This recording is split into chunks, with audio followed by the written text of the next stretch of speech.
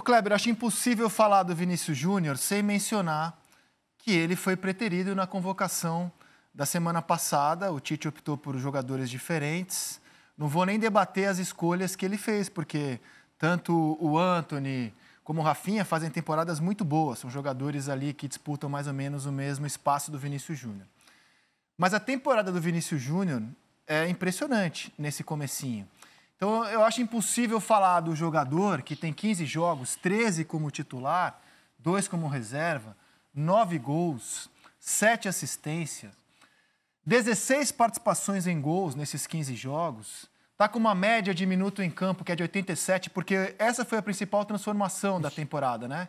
O Ancelotti transformou o Vinícius Júnior em titular. Ele joga as partidas inteiras, ele, ele sai muito pouco do time e está de fato jogando bem. Inclusive, naquilo que era a maior deficiência dele, a finalização, a gente tem assistido a uma evolução. Eu, por exemplo, não consigo olhar para o Vinícius Júnior sem lembrar que o jogador destes números, com esse destaque, cuja renovação já é debatida no Real Madrid, tamanho sucesso que ele vem tendo, já querem renovar com ele, é, e esse jogador está fora da seleção brasileira, Kleber. É. É, o Vinícius Júnior, você falou agora, se o pessoal quiser cornetar, né? É, quando o Vinícius apareceu e começou a ganhar espaço no Flamengo, destaque no Flamengo, aquela história do a promessa, tal. Eu fiquei ainda muito em dúvida.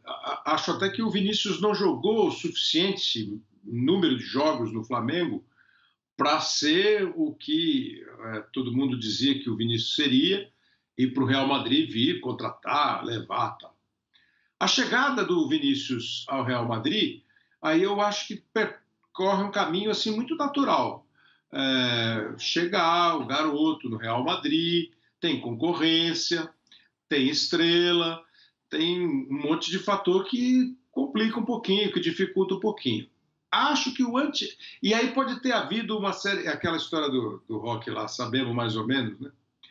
Segundo o Rock, sabemos, sabemos menos, menos, nem mais ou menos, sabe? Acho que o, se o Vinícius teve.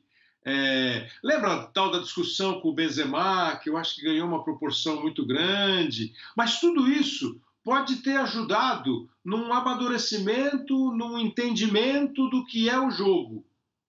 A chegada do Ancelotti me parece, acho que o Rock trabalhou com o Ancelotti no Milan. A chegada do Ancelotti me parece ter ajudado demais uma evolução do Vinícius. O que você falou ali no começo, eu também achava, achava que o Vinícius era um bom driblador, que tomava decisão errada em algumas oportunidades do jogo, que finalizava na hora de cruzar, cruzava na hora de finalizar, driblava na hora. Ó, oh, você está falando que o Vinícius não jogava nada? Não. Estava falando que era um garoto muito bom de bola que estava precisando aprender a jogar futebol. Hoje, ele me parece ser um cara bom de bola que está jogando futebol no nível competitivo, coletivo, de time. Quando o Vinícius Júnior não ainda me encantava, o Tite convocava. Agora o Tite não convocou. O porquê eu não sei, mas eu acho que o raciocínio é esse. Pô, por que, que o Vinícius Júnior não está na seleção? Eu, é, e assim, você falou em não comparar, também não vou comparar. O Anthony, o Rafinha, e outros tantos podem ser, uh, todos eles, as grandes estrelas do futebol nos próximos anos, ajudar o Brasil a ganhar a Copa do Mundo, ganhar o primeiro, o segundo e o terceiro prêmios como os melhores da Copa. Nesse instante, eu imagino que o Vinícius tem um potencial para ser isso tudo. Não sei os outros. Como você está vendo a evolução do Vinícius Júnior, Roque? Pois é, que é, é um jogador novo, né? Então, essa adaptação na Europa também você tem um tempo. Não são todos jogadores, a maioria, quer dizer, dos jogadores, você demora um tempo para se adaptar na Europa. É um, é, é, um outro tipo de futebol. Né? Se joga um outro, um outro futebol fora. É, e o Vinícius teve esse tempo. Né? E hoje tem um treinador que é muito bom na questão da gestão do grupo, né? E está dando confiança a ele. Então, ele está em evolução, ele tem 21 anos. Né? Então, acho que é, é, um caminho natural. Chega num grande clube, onde a pressão é muito grande também, né? É, para se ganhar títulos, e ele vem fazendo esse caminho aos poucos. Eu acho que é, é natural esse caminho dele, e qualquer jogador seria natural. É, não é natural aqueles que conseguem chegar e muito jovem já se adaptar e começar a fazer a diferença em clubes grandes como o Real Madrid. Né? Você tem alguns outros clubes que o jogador consegue chegar porque não tem essa pressão, ele não tem que ganhar sempre como no Real Madrid. E, e, e não só ganhar, mas jogar muito bem também. Então, acho que isso é uma, é, é uma trajetória normal que ele vem fazendo. Quanto à seleção, é, eu acho que, assim, com a minha experiência de seleção e clubes, a seleção é diferente. É, o que o Vinícius tem que fazer? Continuar fazendo o que ele vem fazendo. O Tite já o chamou, sabe da qualidade dele e acho muito difícil, se ele continuar fazendo o que ele vem fazendo, ele não ser convocado. Só que ele tem que chegar na seleção e fazer a mesma coisa. Ele tem também que jogar muito bem na seleção. Porque aí você pega o Anthony e o Rafinha e o Vinícius Júnior. Quando esses dois entraram na seleção, em comparação com o Vinícius Júnior, eles, eles jogaram melhor. Eles deram uma resposta melhor. Independente da oportunidade, um jogou menos, outro jogou mais, mas quando entrou, deu uma resposta maior que o outro, melhor do que o outro. Né? O Anthony, por exemplo, como você falou, quando entrou, fez mais a diferença e deu uma resposta melhor, no meu entender, do que o Vinícius. Isso não quer dizer que o Vinícius não possa ser convocado no futuro. Mas aí é jogo a jogo. E hoje, eu acho que o Tite é, é, é, é um treinador que, que pensa bastante nisso também. Você trouxe um jogador que te deu a resposta no jogo e outro que está bem, mas que não deu a resposta ainda igual a esse, a do Antônio e a do Rafinha.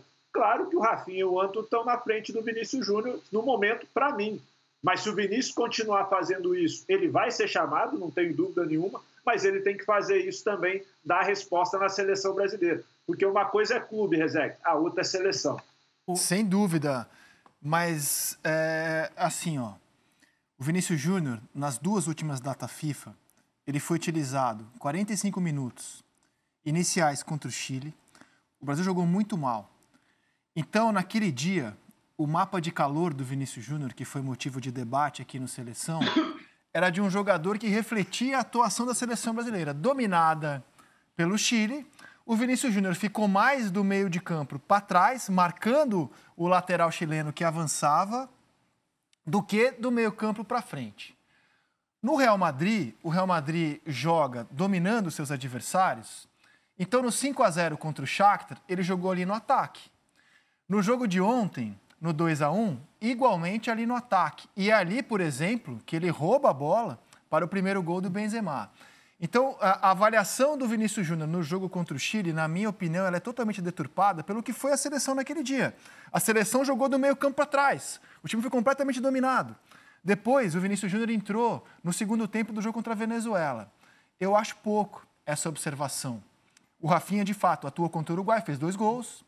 O Anthony, quando Teve entrou. impacto com a Venezuela, inclusive. Exato. O Anthony, quando entrou, de fato, foi muito decisivo. Só que a seleção estava em momento melhor também. Então, eu, eu, eu acho que o Tite errou nessa convocação. Acho, acho mesmo que ele errou. Porque quando eu olho para o futebol europeu hoje, eu vejo uma prateleira que tem o Salah, que tem o Lewandowski, o Cristiano Ronaldo, e não tem nenhum, nenhum brasileiro nessa temporada, o Neymar ainda não chegou no nível desses caras, nessa temporada, nessa prateleira ali de cima. Na segunda prateleira, hoje, é o Vinícius Júnior. Ele é o brasileiro hoje em melhor momento no futebol o... europeu. E como é que você abre mão de um cara desse na seleção brasileira? O, o Rock disse cada palavra do que eu tinha anotado aqui no meu caderninho sobre a questão seleção brasileira. É, eu acho. Mas ele leu, né? Lá de onde ele está, ele consegue não, ler. Não, não. O que eu quero dizer que eu concordo inteiramente com ele, mas eu também entendo. Mandei até aquele olhinho do WhatsApp para ele assim, ó. Porque você pode ter um olhar crítico em relação a, uma espécie de rigidez da elaboração da lista do Tite? Pode. Por exemplo, se você pega hoje como a seleção vem jogando, o Tite convocou praticamente dois jogadores para cada posição do meio-campo para frente. Então ele convocou o Casemiro e o Fabinho para a posição do primeiro volante, ele convocou o Fred e o Gerson para a posição do segundo, ele joga com um meia partindo do lado esquerdo, então ele convocou o Felipe, o Lucas Paquetá, que vem sendo o titular, e o Felipe Coutinho, que está acostumado a fazer essa função como o segundo para essa posição, na ausência do Everton Ribeiro, que até é mais acostumado a jogar pelo lado direito, mas como esse meia que parte do lado, o segundo nome foi o Felipe Coutinho, imagino eu numa tentativa de estimular uma, um processo de recuperação desse Hoje, jogador. Hoje o Felipe Coutinho é reserva do Exato. Barcelona. Um processo... Reserva do Barcelona. Agora, ele não... Aí é que está, na, na, na forma do Tite elaborar a lista, ele não tirou o lugar do Vinícius Júnior, porque o Tite tentou replicar dois jogadores por posição a partir do modelo de jogo da seleção. Convocou dois jogadores para o lado direito, para o lado do campo, que ele joga com um ponta de um lado, um meia partindo do outro lado. Convocou o Anthony e Rafinha, ainda que o Anthony no Ajax é, é, o, o, o, o, Anthony para o lado direito, os dois para o lado direito, o Anthony e o Rafinha, ainda que o Anthony tenha entrado na seleção em alguns momentos pelo lado esquerdo, né, como foi no jogo com a Venezuela, se não estou errado, mas convocou dois pontos para um lado e para as duas posições por dentro, onde ele joga com dois atacantes partindo do centro, ele convocou quatro nomes. Convocou o Jesus, convocou o Neymar, o Matheus Cunha e o Firmino, que talvez tenha que ser cortado por uma questão de, de, lesão agora no fim de semana, e até pode aparecer o Vinícius quebrando um pouco essa, essa lógica dos dois jogadores por posição. Então você pode ser crítico em relação a essa rigidez. Tendo um jogador de nível é. tão alto, dá a ele um pouco mais de espaço, um Sou pouco mais crítico. de minutos. Eu acho que Agora, a, o, as ideias do treinador não podem estar acima da realidade. Eu estou plenamente é isso, de acordo com é o Rock que quando entraram no time, Rafinha e Anthony tiveram um impacto imediato então. maior que o do Vinícius embora essa comparação do jogo com o Chile seja um debate muito válido. A seleção foi dominada naquele jogo e o Vinícius Não, acabou sacrificado por... numa função defensiva.